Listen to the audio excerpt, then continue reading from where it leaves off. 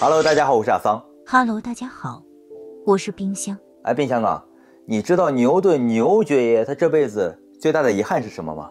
是他一辈子也没娶个媳妇，没要个孩子吗？哎，我说冰箱啊，你怎么这么关心牛顿的私生活呀？牛顿呢，他这辈子最大的遗憾啊，是他提出了万有引力定律，还给出了公式啊，引力常数乘以两个物体的质量除以它们质心之间距离的平方。但是呢，牛爵爷他到死啊也没办法完美的解释万有引力的这个力到底是怎么传播的啊，传播媒介又是什么呢？不知道。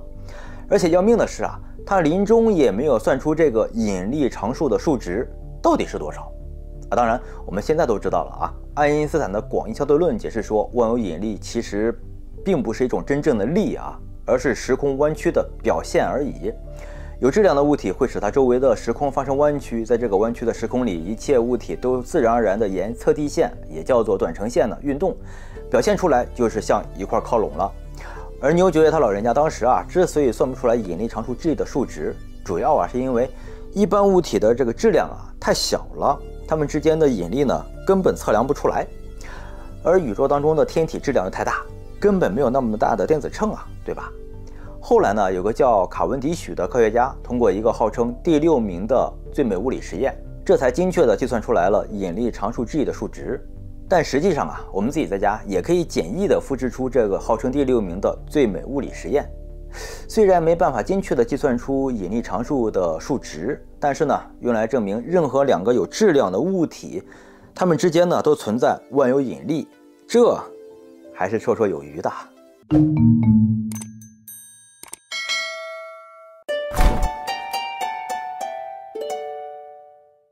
首先，我是做了这么一个装置，两个空的瓶子装满了液体，吊在一根棍子上面，然后呢，让它们悬浮在这个玻璃的罩子里面。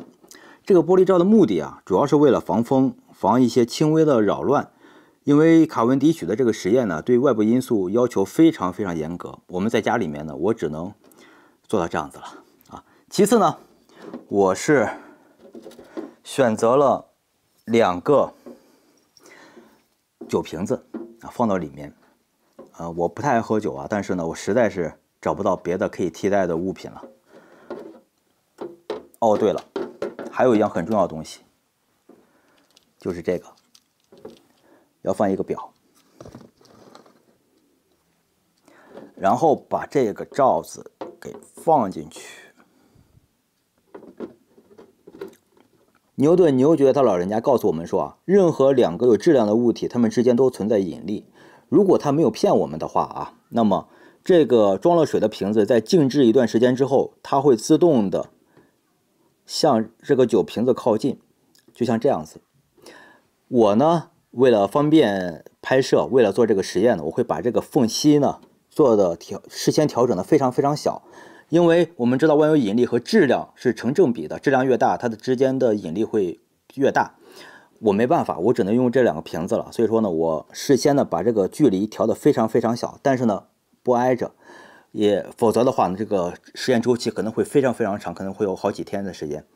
所以说呢，我会从不同的角度架设摄像机来观察这个实验，看看牛顿他老人家到底有没有骗我们。走起。酒瓶子每个大约不到四百克，悬浮的装了水的瓶子呢，每个大约不到一百克。画面中左边是我用相机拍的缝隙，瓶子稳定之后啊，大约有一毫米的缝隙。但是呢，因为距离很近啊，相机无法做到微距的对焦，所以看上去瓶子是模糊的啊。但是不影响观察啊。